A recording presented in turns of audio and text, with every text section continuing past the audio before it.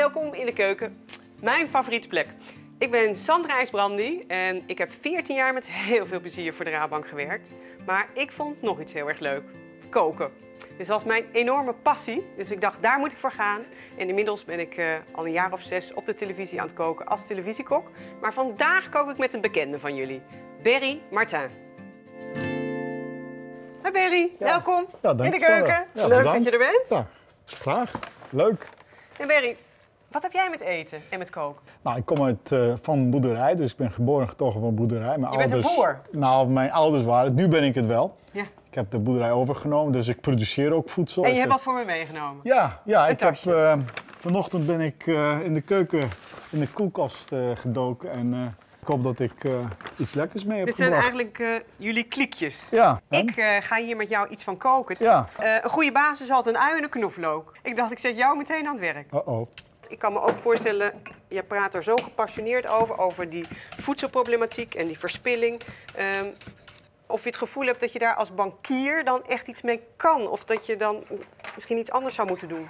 Nou, wij, wij hebben wel als Rabobank een strategie. Dat noemen we banking for food. Het is gewoon zo dat, dat ja, gewoon, eh, boeren moeten gefinancierd worden. Als je over nadenkt dat, dat een van de oplossingen is ook meer gaan produceren per hectare. Als je erover Ja. nadenkt. Dat moet, daar moet je voor investeren. Mensen moeten opgeleid worden. Mensen moeten bewust worden.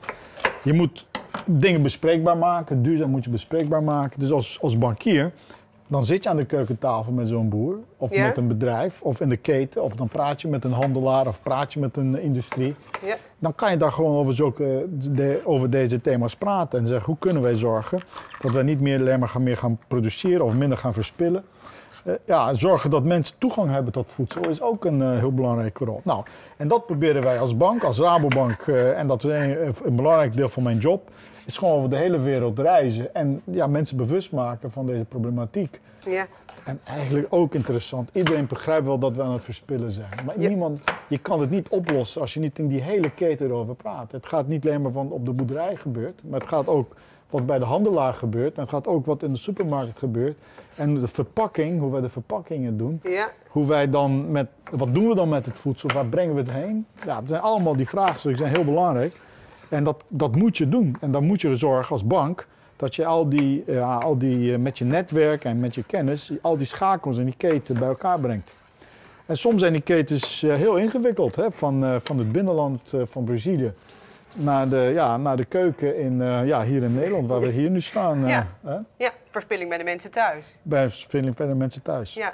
We zijn een bank die eigenlijk van het platteland afkomt. Ja. Dat is gewoon voor ons natuurlijk dat wij dus eh, een bijdrage zullen leveren om, om eh, 9 miljard mensen te voeden.